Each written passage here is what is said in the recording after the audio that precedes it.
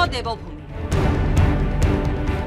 ধৰ্ষণ কাণ্ডক লৈ উত্তাল দেৱভূমি অযোধ্যা এফালে কঠোৰ প্ৰশাসন আনফালে গৰম ৰাজনীতি ধৰ্ষণ কাণ্ডৰ পিছতে একশ্যন মুডত নামিছে যোগী চৰকাৰ তিলকে তাল কৰি ঘটনাত যোগী চৰকাৰে বিস্ফোৰক ইন্ধন যোগোৱাৰ চাঞ্চল্যকৰ অভিযোগ সমাজবাদী চৰকাৰৰ भारतीय जनता पार्टी साजिश चुनाव से पहले भारतीय जनता पार्टी षडयंत्र करना चाहती है चुनाव से पहले। और उनका लक्ष्य पहले दिन से रहा है कि समाजवादियों को कैसे बदनाम किया जाए और खास कर से के मुसलमानों को लेकर के उनकी जो सोच है, वो अनडेमोक्रेटिक है, अनकॉन्स्टिट्यूशनल है। ये सोचिए एक मुख्यमंत्री योगी। तो इसका मतलब ये है कि अगर कोई योगी अगर वो लोकतंत्र पर भरोसा नहीं करता है और कॉन्स्टिट्यूशन पर भरोसा नहीं करता वो योगी नहीं हो सकता है যোৱা ত্ৰিশ জুলাইত সমাজবাদী পাৰ্টীৰ কৰ্মী মঈদ খানৰ কামনাৰ বলি হৈছিল এগৰাকী বাৰ বছৰীয়া দলিত নাবালিকা অভিযোগ অনুসৰি পুৰা কলন্দৰ আৰক্ষী থানাৰ অন্তৰ্গত ভাদৰছা চহৰত নিজৰ পথাৰৰ পৰা ঘৰলৈ উভতি অহাৰ সময়ত নাবালিকাগৰাকীক বিস্কুট খোৱাৰ প্ৰলোভন দি নিজৰ বেকাৰীত ধৰ্ষণ কৰিছিল মঈদ খানে এই কাণ্ডৰ পিছতে কঠোৰ হৈ যোগী চৰকাৰে চলাইছে তদন্ত অভিযান।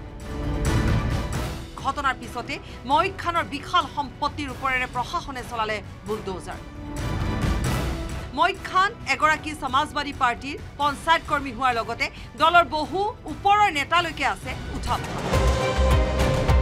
সেইবাবে এতিয়া অযোধ্যা ধৰ্ষণ কাণ্ডই আইনৰ বিচাৰ প্ৰক্ৰিয়াৰ সমান্তৰালভাৱে ৰাজনীতিটো লাভ কৰিছে ব্যাপক চৰ্চা।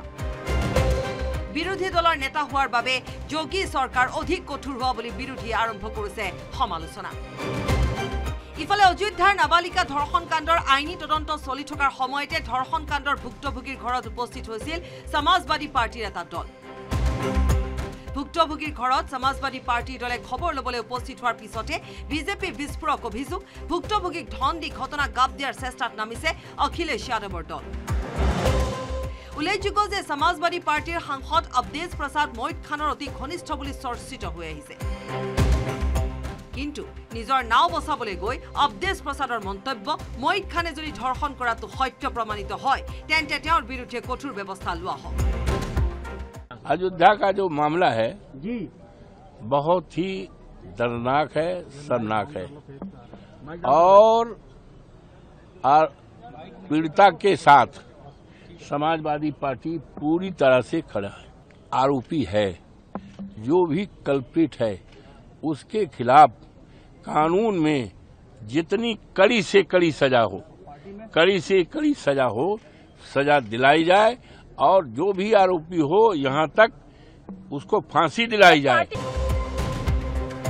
ইফালে ত্ৰিশ জুলাইত সংঘটিত এই ধৰ্ষণ কাণ্ডক লৈ গৰম হৈ পৰিছিল উত্তৰ প্ৰদেশৰ বিধানসভাৰ মজিয়াও বাৰ বছৰীয়া নাবালিকা ধৰ্ষণৰ ঘটনাক লৈ সমাজবাদী পাৰ্টীক বিধানসভাৰ মজিয়াত তোলা ঠোনা দিছিল মুখ্যমন্ত্ৰী যোগী আদিত্যনাথে আদিত্যনাথৰ বক্তব্যক লৈ সৰব হৈ পৰিছে সমাজবাদী পাৰ্টীৰ মুৰব্বী অখিলেশ যাদৱ जिसमें अयोध्या में मोइन खान जो समाजवादी पार्टी का नेता है अयोध्या के सांसद की टीम का सदस्य है।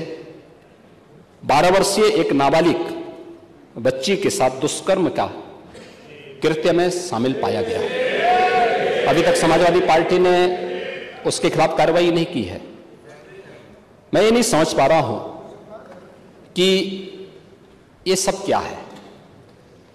अब क्या ये कोई समाजवादी पार्टी ना बोले? आपका एक्टिव मेंबर है। आपके सांसद के साथ बैठ रहा है, खा रहा है, उनके साथ चल रहा है। लेकिन इस प्रकार के, और यह अति पिछड़ी जाति से जुड़े हुए एक बालिका से जुड़ा हुआ मामला है। National desk report news eighteen